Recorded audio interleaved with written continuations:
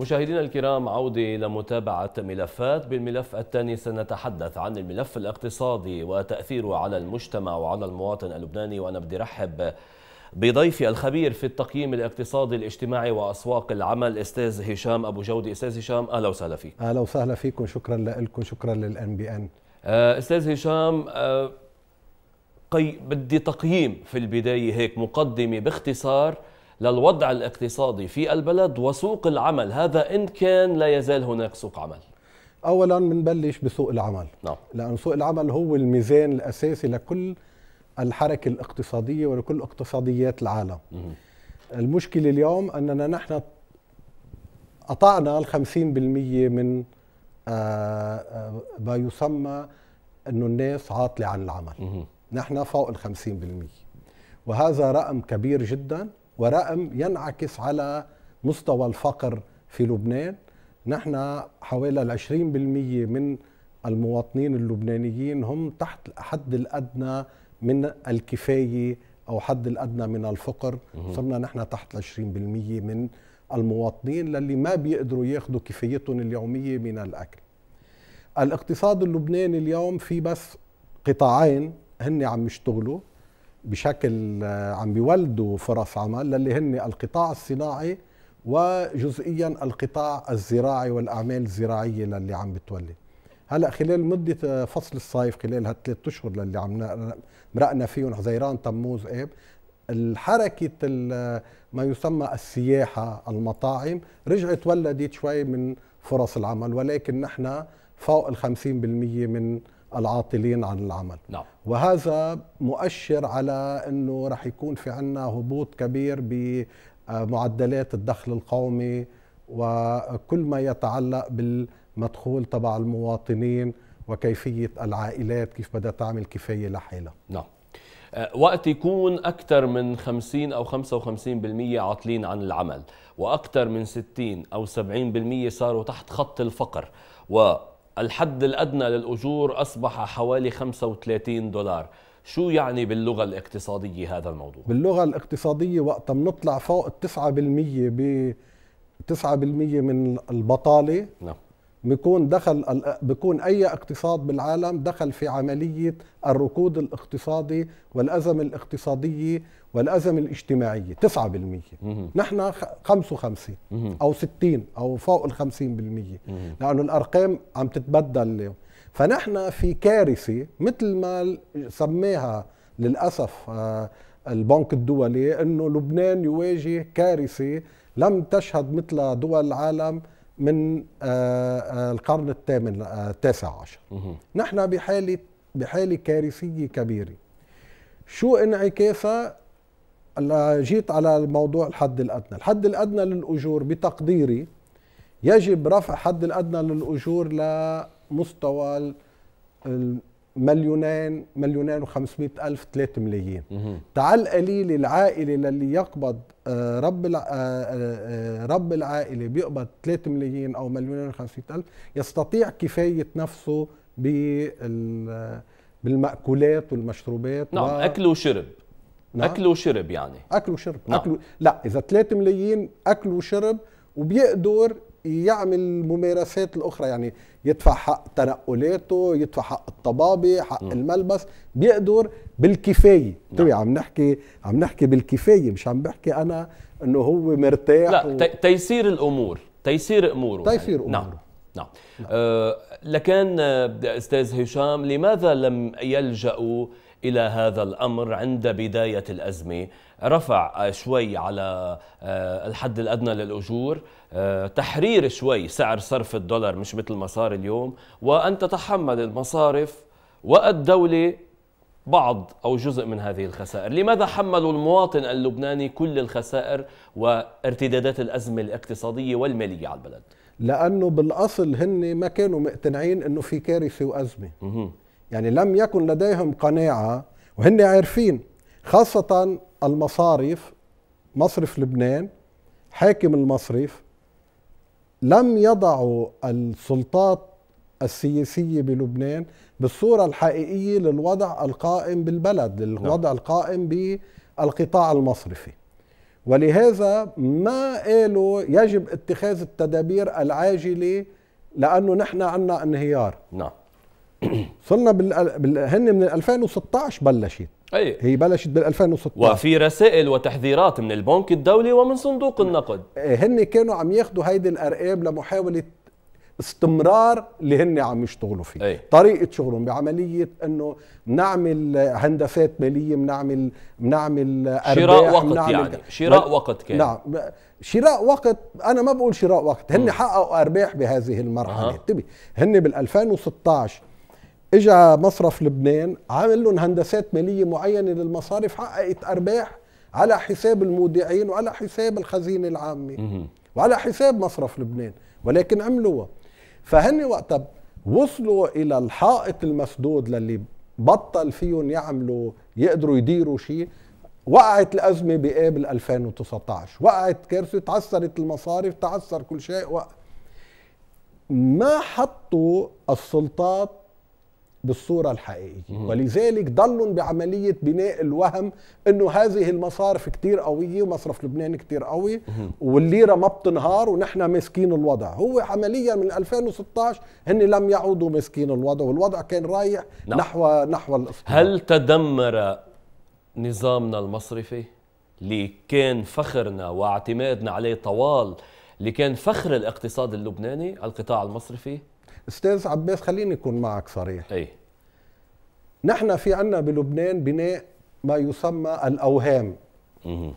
أحد الأوهام اللي كنا نحن بانيينا آه، بالنظام اللبناني ككل إنه النظام المصرفي في لبنان هو النظام القوي والفريد واللي يستطيع آه، حماية البلد وكل الخبرية للي تعرفها وبيعرفوها جميع اللبنانيين نعم.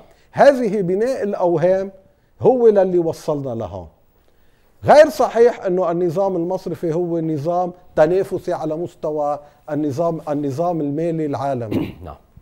هو نظام مغلق وليس نظام منفتح. هو نظام غير تنافسي مع الخارج. هو نظام آه، آه، آه، بيتشاركوا كلهم بعملية إدارة الوضع المالي البسيط في لبنان نعم. لتحقيق أرباح داخلية.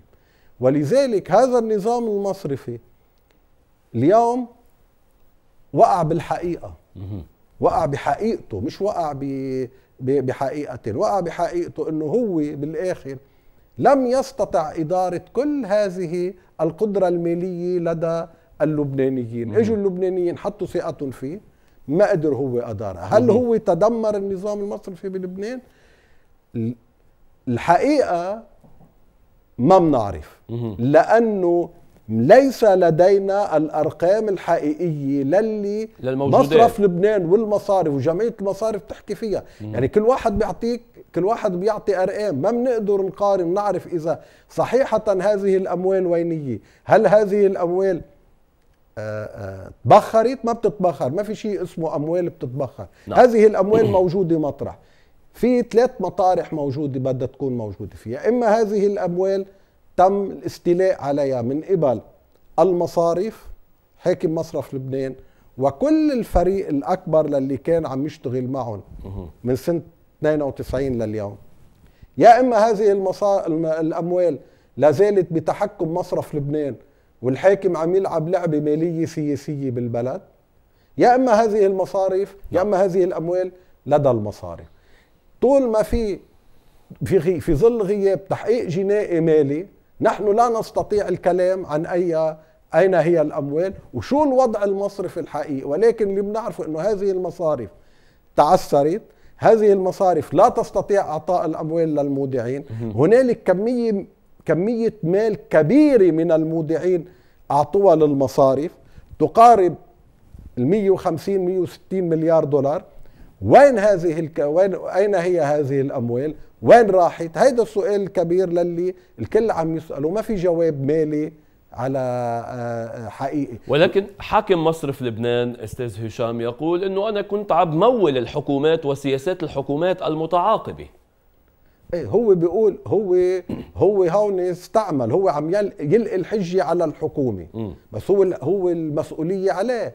هو لا يحق له التصرف بأموال المصارف وأموال المودعين لتمويل الدولة نعم ما قانون النقد والتسليف لا يسمح له بالقيام بها بهذه بهذه العملية هو عم بيقول نعم. أنا شو كنت بعمل بتركني إيه خلي كان لازم هو يترك الحكومات المتعاقبة تتحمل هي مسؤولية ما تقوم به نعم. من إدارة غير سليمة هذا بحسب قانون النقد والتسليف؟ نعم. بحسب قانون النقد والتسليف؟ بحسب بحسب قانون النقد والتسليف. وما بحق له يتح... يتح... يتصرف بأموال الناس. ما بحق له هو نعم. يجيب مصاري من المصارف يعطيهم يعمل لهم هندسات مالية يعطيهم فوائد أكبر من المعتاد. تهني يحطوا مصاري عنده.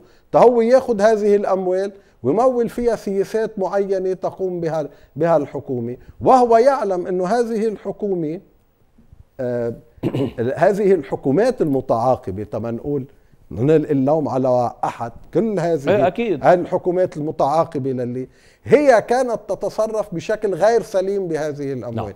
هي في وضع آه زبون مفلس وخسران نعم. يعني أنا بدي أحكي مثل ما بيحكوا المصارف أي. إنه زبون مفلس وخسران بيجي على المصرف بيقول له بدي بدي مصاري منك بدك تديني بدي أعمل مشروع ما بيعطيه اياهم كيف هم قبلوا انتبه هون المسؤولية مش على مصرف لبنان بس المسؤولية على المصارف. نعم. كيف هم قبلوا بالدخول بهذه المعادلة مع مصرف لبنان للقيام بهذه اللعبه وين وين أموال المودعين؟ وين الودائع يا أستاذ هشام؟ هيدا السؤال الكبير يعني هيدا هيدا السؤال نعم. للي للي ما له جواب علمي. عندنا نعم. ما ما عندنا جواب على ورقة وقلم. ما عندنا جواب بيقول هذه الأموال أين ذهبت؟ كيف نعم. ذهبت هذه الأموال؟ مش المهم آآ آآ المهم أن نعلم بالتحديد أين ذهبت هذه الأموال. قديش كميتها قديه للي منا صرف؟ قديه للي منا نهب؟ قديه للي منا بعده موجود؟ نعم.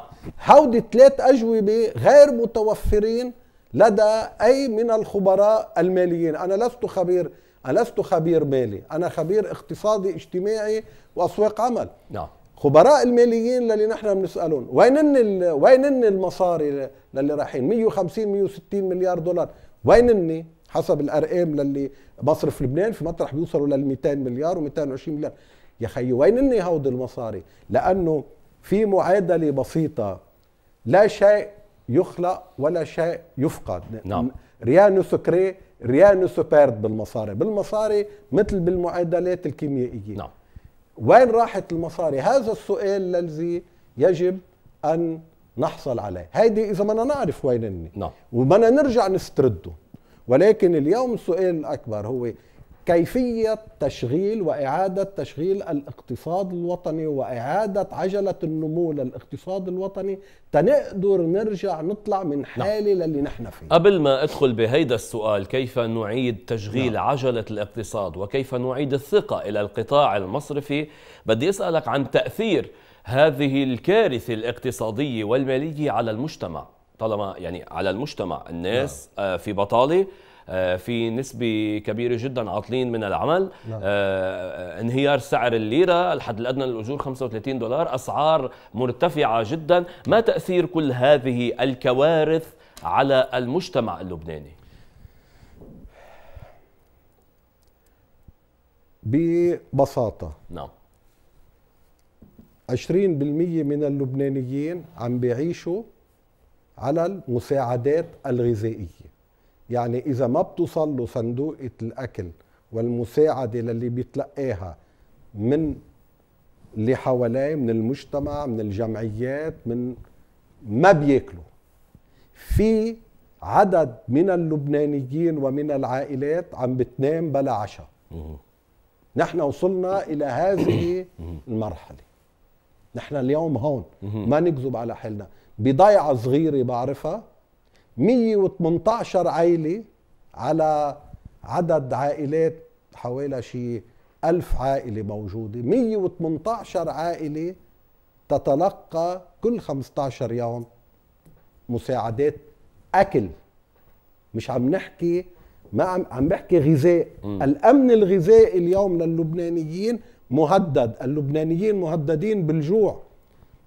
هاي ثاني شيء اللبنانيين مهددين بالصحة تبعهم اليوم المستشفى الاستشفاء والطبابة والقطاع والقطاع الصحي بلبنان انهار كمان يعني أو على طريق الانهيار. أو وإذا ما انهار اللبنانيين ليس لديهم القدرة على آه، يتحكموا ويتطببوا ويشتروا الأدوية للي هن عايزين فيها. فنحن الأمن الغذائي والأمن الصحي اصبحوا مهددين. إذا أصبح المو... أصبح المجتمع كله مهدد بحياته. مش عم نحكي بحياته بصيرورته الفيزيائية وال... والاستمرارية. بالوجود بالوجود. بوجوده نعم. صار مهدد بوجوده. نحن اليوم بهيدي المر... بهيدا الوضع. هيدي هاي الحقيقة للي وهذا على تفاقم نعم. مش على مش على تراجع. أي يعني الأمور ذاهبة إلى الاسوء إذا بقينا بهذه رايحين نعم راح إذا استمرت هيك وهن كانوا لازم من سنة 2019 وبداية 2020 لازم هن كانوا يبلشوا يسعوا لتأمين الأمن الغذائي والأمن الصحي نعم. للمواطنين وبعدين بيأمنوا باقي الأمن التربوي نعم. والأمن السكني والملبس وبقية بقية بقيه الأمن اللي لازم التنقل نعم. كل هيدا لازم بس هودي بيجوا تحت الأوليات نعم. الأوليات كيف قبل ما ينتهي وقتنا نعم. أستاذ هشام كيف نعيد تشغيل عجلة الاقتصاد اللبناني وكيف نستعيد الثقة بالقطاع المصرفي ونعيد الثقة للمغتربين وللمودعين ولرجال الأعمال إنه يجوا يستثمروا بلبنان نعم. اولا أنا برأيي اللبنانيين اليوم المغتربات هي للي قايمة بنص الحمل الموجود في لبنان. هن للي عم بيطعموا اهاليهم وعائلاتهم أي عم بيبعثوا لهم ونص نعم. المجتمع نعم. نص المجتمع اذا مش أكثر بلبنان برأيي هالقد ماشي على المغتربين. وبعتقد المغتربين لديهم الثقة الحقيقية ببقاء هذا البلد ببقاء أهاليهم. كيف نعيد بناء الاقتصاد الوطني؟ كثير الوضع الموضوع سهل سهل بالمعنى الاقتصادي النظري. اولا جزء من ترشيد الإنفاق وترشيد الدعم يذهب إلى دعم الإنتاج الوطني في لبنان. نعم. ومننقل من سياسات الاقتصادية الراعية إلى سياسات الاقتصادية الإنتاجية. نعم. منروح على الصناعة والزراعة وبنعمل سياحة وبنعمل سياحة على القليلة تكون مقبولة وتجذب المواطنين. بدون ما نروح على اليوم يمكن يصير في حكومة ما بعرف شو شو الوضع الحكومي للي إذا اليوم بدهم يستمروا بذات السياسات اللي كانت مستمرة من قبل ما, ما كيف بدنا نجيب مصاري؟ نحن اليوم بحاجة ل 20 مليار دولار. إعادة بناء الاقتصاد الوطني بده 20 مليار دولار بالحد الأدنى. 20 مليار دولار اليوم نستطيع الحصول عليها بواسطة صندوق سيادي نعم بتعمله السلطة اللبنانية أو حكومة بدها تشتغل بشكل إعادة بتجيب هودي المصريات من العشرة بالمية أو الواحد بالمية من اللبنانيين الذين استفادوا خلال مرحلة نعم. 92 لل 2020 اسمح لي هون أنا اقاطعك عند هذه الفكرة. تقول إنه الاقتصاد اللبناني بحاجة ل 20 مليار دولار. نعم. كان عندنا 34 مليار دولار من سنتين.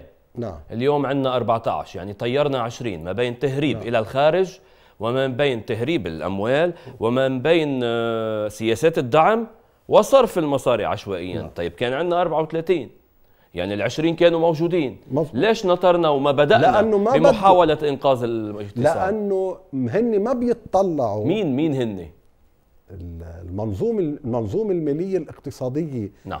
للي حاكمة في لبنان. والسلطة السياسية للي حاكمة في لبنان.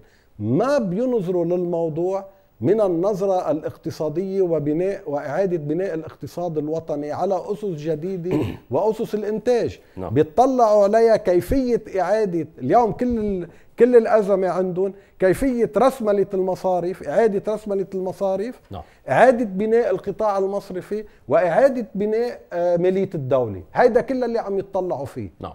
مش عم يطلعوا إنه الأساس هو كيفية إعادة بناء الاقتصاد الوطني على أسس الإنتاج على أسس إنتاجية وعلى أسس المنافسة وعلى أسس آه، آه، إنتاج المال تنرجع نمول هيدا هيدا القطاع. هن عم يتطلعوا عم يرجعوا يتطلعوا بنفس الطريقة للي استمروا فيها خلال مدة من 92 لل وهذا اللي كنت بدي أسألك عنه. هل المشكلة بال20 مليار هل المشكلة باسم صندوق سيادي أو خلينا نقول مؤتمر سادر أو غيره أم المشكلة بالعقلية التي تدير الاقتصاد العقلية. إيه. العقل العقلية التي تدير كل هذا الوضع في لبنان. هي عقلية وضعت من سنة 92 ووضعت لبنان على سكة الانهيار.